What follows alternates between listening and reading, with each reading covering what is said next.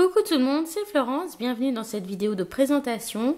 Aujourd'hui je vous présente un jeu qu'on voit sur internet euh, de plus en plus dans les présentations. Il s'agit de l'Oracle Lumière d'Antoinette Charbonnel qui est paru aux éditions Arcana Sacra cette année en 2019. Donc euh, voilà, c'est un jeu qui a été fait par une illustratrice créatrice euh, française. Et donc bah, c'est le premier jeu que j'achète qui est publié par les Arcana Sacra. Euh, par les éditions pardon, Arcana Sacra. Donc c'est une petite maison d'édition et du coup c'est vrai qu'on a un jeu de belle qualité qui est sorti avec vraiment une attention euh, aux petits détails. Donc ça c'est vraiment sympa. Donc c'est un jeu qui est au prix de 26 euros. Vous pourrez le trouver dans les boutiques qui ont un rayon ésotérique en, ville par exemple ou euh, dans les Cultura aussi je sais qu'ils l'ont. Et puis autrement sur Amazon. Donc, on va regarder ensemble. Donc, c'est un jeu de 44 cartes euh, qui contient un petit livret en couleur. Et puis, donc, c'est un jeu qui est un peu particulier parce que euh, les cartes sont séparées en deux familles. Donc, à gauche, ici, nous avons ce qu'elle appelle les 22 lames majeures, donc qui vous correspondent aux 22 majeurs du tarot. Donc, elle les appelle l'or blanc. Et puis ensuite, nous avons 22 cartes dites mineures qui correspondent aux couleurs et aux chakras. On a aussi des, animaux euh, dans, ces cartes euh, des mineurs. Et donc, celle-ci, elle les appelle l'or jaune. Et donc, c'est intéressant parce que si on regarde ces tirages, eh bien, euh, des fois, elle va utiliser que, les majeurs ou que celles des, chakras et des couleurs. Ou d'abord un, puis l'autre, puis remélanger l'état. Enfin, en tout cas, il y a une, euh, proposition intéressante euh, au niveau de l'utilisation des cartes euh, qui est assez originale. Et donc voilà, je voulais le, souligner. Et puis du coup, c'est vrai que c'est un jeu qui est assez polyvalent parce qu'on peut l'utiliser comme tarot en utilisant que les 22 majeurs. on peut l'utiliser en jeu pour travailler sur les chakras avec seulement les mineurs, entre guillemets ou on peut mélanger le tout et utiliser comme un oracle complet. Donc voilà, c'est un oracle assez polyvalent. Donc voici le dos de la boîte. Donc on a une boîte en dur avec un fini mat. On a des petites encoches sur le côté. On a une jolie boîte. Et l'intérieur est bien décoré également. Donc on a un petit ruban euh, vert émeraude qui permet de, de tirer les cartes. Et j'aime beaucoup beaucoup le travail qui a été fait sur l'intérieur de la boîte. Donc ici, on a la lune et les sept chakras, donc j'adore. Et puis à droite, on a une jolie clé dorée avec l'inscription « Éveillez l'or qui sommeille en vous, la fée lumière ». Voilà, donc la fée lumière, elle a aussi une euh, chaîne YouTube qui s'appelle justement la fée lumière, si vous voulez jeter un œil. Voilà, dans le livret qui est en couleur, on va retrouver beaucoup de choses.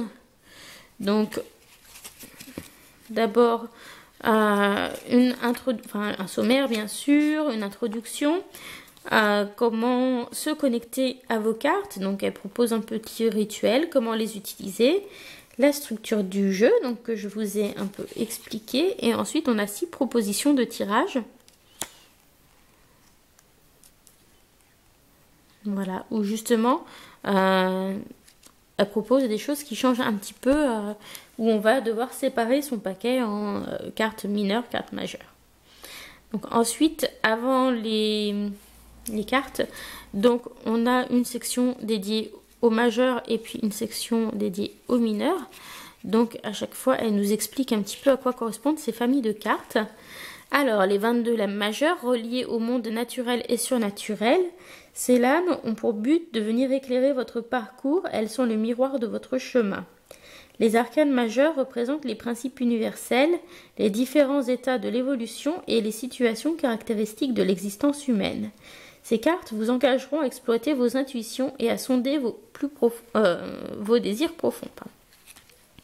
Quand on regarde la même chose, donc les cartes de l'or jaune qui sont les mineurs, on vous dit, ces lames ont pour but de venir apporter un soutien et une guérison à nos erreurs de perception, de, retourner, de retrouver pardon, un état de paix et de résilience à nos existences. Elles permettent également de comprendre d'où viennent les dysfonctionnements afin de recouvrer l'équilibre et l'harmonie. Donc là, on a quelque chose quand même qui est assez orienté développement personnel. Et on a un jeu qui va euh, vraiment essayer de proposer des solutions aux problèmes euh, plutôt que de vous dire, bah, paf, il vous, arrête, il vous arrive un problème, c'est la fatalité, c'est comme ça. Non, là, on vous propose quelque chose euh, pour dépasser ces étapes. Et du coup, voilà, je trouve que c'est plutôt intéressant. Alors, on va prendre un petit exemple de présentation de cartes dans les majeurs. Donc, on va avoir le numéro de la carte avec la carte en couleur. Donc, ça, c'est appréciable. Et puis ensuite, on va avoir des mots-clés et puis, euh, et puis euh, voilà l'exploitation de cette carte. Il y en a certaines pour lesquelles on va avoir aussi un symbole d'éléments, euh, des directions, des moments, des saisons, puis des signes astrologiques. Mais pas sur toutes, donc voilà, c'est indiqué quand... Voilà, c'est pour faire en sorte, une sorte de légende pour pour les petits symboles qu'on peut retrouver sur la carte. Et ensuite, dans la seconde partie, on va avoir pareil des mots-clés euh, liés au chakra. On va avoir ici euh, les couleurs euh, que l'on peut utiliser et les pierres qui peuvent aider à travailler ce chakra, ainsi que des idées d'activité, l'archange qui peut être appelé en soutien, et puis ce que ça guérit, comment ça purifie les énergies, et puis euh, voilà. Donc c'est quand même court, mais euh, voilà, on a les informations essentielles. Et puis ensuite, on a des choses moins détaillées pour les petites cartes suivantes, mais rien n'empêche de venir euh, se référer à la carte de référence du chakra. Voilà, voilà. Alors, au niveau du carton, on a quelque chose de belle qualité. Euh, avec une taille à peu près de carte de tarot, une finition plutôt satinée, pas vraiment mat, pas vraiment brillant. Euh, on n'a pas de bordure, elles sont souples mais euh, suffisamment épaisses. Voilà, donc une jolie qualité de carte. Voilà, très très bien. Donc on va commencer avec les majeurs qui sont pas dans l'ordre et ensuite on continuera avec les cartes des chakras et des couleurs que elles euh, j'ai remis dans l'ordre par contre pour euh, vous montrer celles qui vont ensemble. Alors, on commence avec le numéro 1, donc le goupil, qui correspond au magicien, avec les mots action, énergie et volonté, et qui est relié à l'élément terre. Nous avons la carte numéro 10 qui s'appelle le temps, avec les mots clés euh, cycle et changement.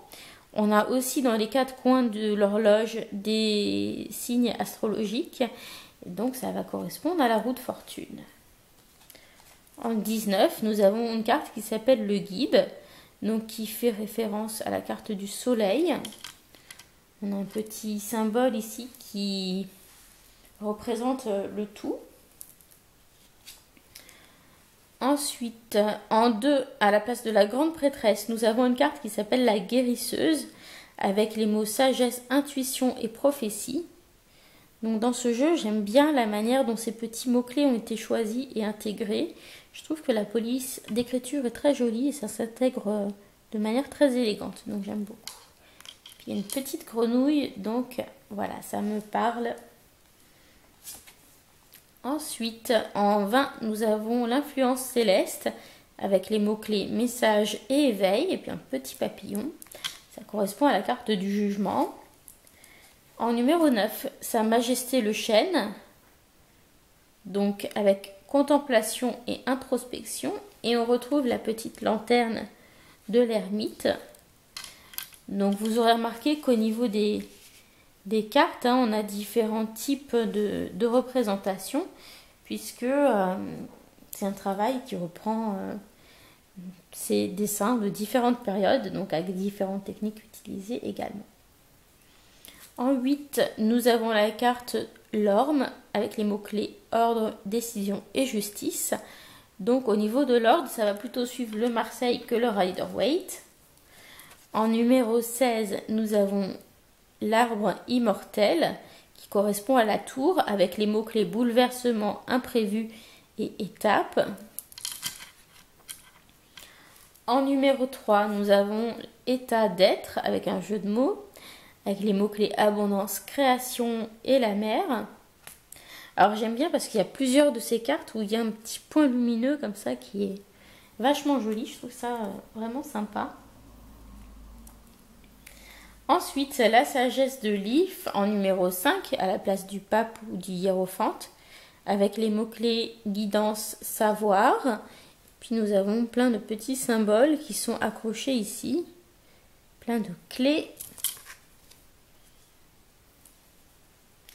Ensuite, nous avons à l'abri du saule en carte numéro 14 avec les mots équilibre, tempérance et puis guérison. Donc évidemment, c'est ce qui remplacera la carte de la tempérance. Et voilà, là aussi j'aime beaucoup ce petit point lumineux.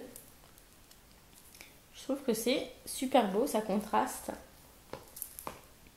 En 12, nous avons la carte la patience avec le mot lâcher prise. Donc ça correspond au pendu. En 15, nous avons le sapin légendaire avec les mots négativité, ego et peur qui correspond à la carte du diable. En 22, donc ce sera équivalent du mât ou du fou, nous avons la jeune pousse avec les mots renouveau, aventure et départ. En 21 pour le monde, nous avons l'alignement sacré. Donc là, nous avons tous les éléments autour du lotus. En 11, nous avons puissance lumineuse avec un lion qui nous représente la carte de la force. Alors celle-ci, euh, voilà, je trouve que ça fait un petit peu enfantin comme dessin, j'aime pas trop. Mais euh, voilà, les autres cartes, je les aime bien, mais c'est celle-ci que j'aime le moins avec euh, la suivante que je vais vous montrer, qui est la carte de l'aigle avec les mots-clés père, structure, c'est relié à l'élément R avec le numéro 4, et donc ça représente l'empereur. Voilà, ces deux-là, je trouve un peu plus enfantin, donc j'aime un peu moins. Nous avons le châtaignier en numéro 6, avec deux petits chats amoureux qui font un cœur. Voilà, donc vous aurez deviné que c'est la carte des amoureux. Nous avons la Luna en 18, avec les mots-clés mystère. Donc voilà, la carte de la lune dans le tarot. Je la trouve très jolie, celle-ci. Ensuite, la danse des papillons en 13, donc avec les mots-clés transformation, fin et renaissance, et l'élément R, donc qui est relié à la carte de la mort dans le tarot. Ensuite, en 7, le chariot, nous avons la confiance dirigée, avec un petit escargot, et l'élément terre, donc détermination, réalisation, direction. Et la dernière majeure, c'est celle qui correspond à la carte de l'étoile, avec l'olivier béni et les mots-clés espoir, inspiration, force de vie. Et donc je trouve que c'est très très bien choisi, ça fonctionne très bien. Voilà. Alors maintenant, on va regarder ensemble les cartes liées au chakra. Donc tout naturellement, on commence avec le chakra racine. Donc on est bien dans rouge sombre. Donc au niveau des couleurs, on se retrouve assez facilement. Ensuite, nous avons l'encre. Oula, excusez-moi, je vous ai bousculé. Donc, on a un rappel ici de l'élément terre. Et puis en haut, je ne sais pas si on verra bien, on a le symbole du chakra en rouge qui est dessiné. Voilà. Ensuite, nous avons la carte du loup avec l'inscription ici et maintenant. Ensuite, nous avons une très belle illustration pour le chakra sacré avec les mots passion, abondance. Voilà. Nous avons la carte du jardin, donc désir et action.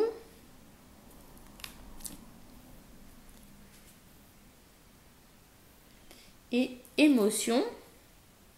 Donc là, c'est vrai que ça fait un peu plus jaune. On pourrait croire que c'est relié euh, au chakra du plexus solaire, mais non, ici on a bien le petit symbole pour en être sûr. Et donc, osez dire, osez voir. Ensuite, le plexus solaire avec le mot-clé confiance.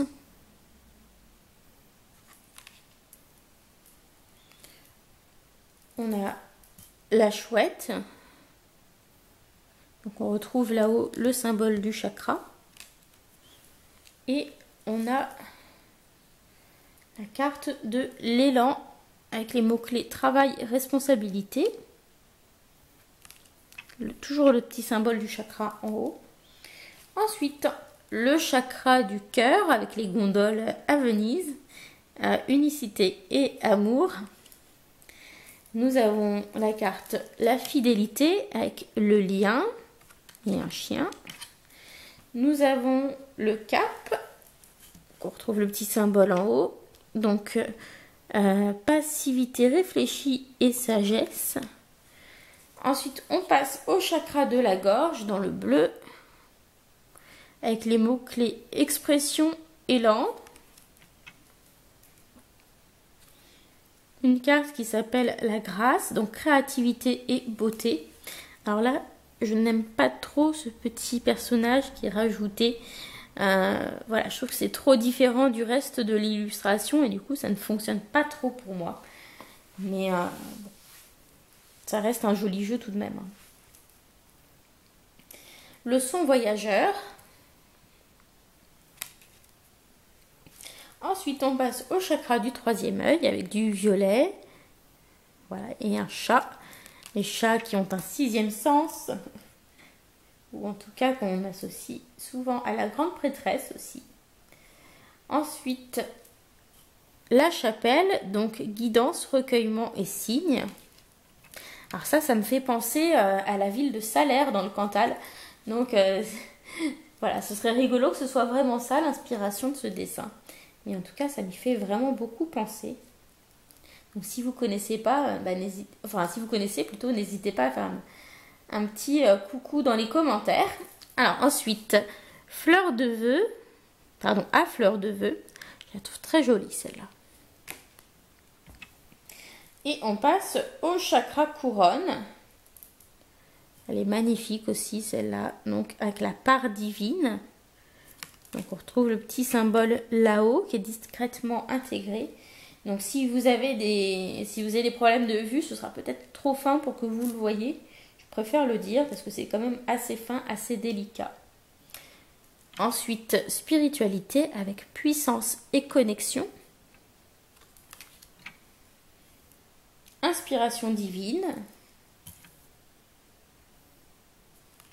Et éclosion. Celle-ci, elle est vraiment très très jolie. Et voilà, donc nous avons fait le tour ensemble de ce jeu. Donc je vous propose qu'on tire rapidement une petite carte et qu'on lise son petit message pour voir ce que ça donne. Donc c'est parti. Quel est notre message? Hop. Et donc il s'agit de la carte Le Cap avec la tortue. Donc on va regarder ensemble le message. Donc longévité, passivité réfléchie, sagesse. J'ai besoin de ralentir pour saisir le cap de ma direction, d'orienter mes actions avec ce que je reçois comme information intérieure. J'utilise mes expériences comme point fort et ne bouge que prudemment afin de m'assurer réussite. Voilà, donc je vous laisse voir comment ça fait écho avec euh, ce que vous traversez ou ce que vous vivez avec votre situation personnelle et puis ça vous donne comme ça un petit aperçu euh, du type de message que l'on peut avoir dans ce petit livret. Voilà, et bien en tout cas je vous remercie d'avoir suivi cette présentation et je vous souhaite une excellente journée. Bye bye